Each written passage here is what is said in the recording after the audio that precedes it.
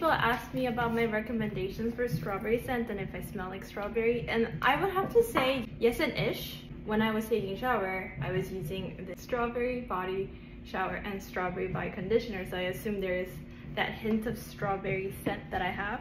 I layer my scents in different parts of my body. On my arm, I have this Chanel one. This hair mist actually softens my hair, so if you want to try it out. It doesn't shine as much as this one, so I mix it with this one, which is quite floral. There's like a mixed mash of scents.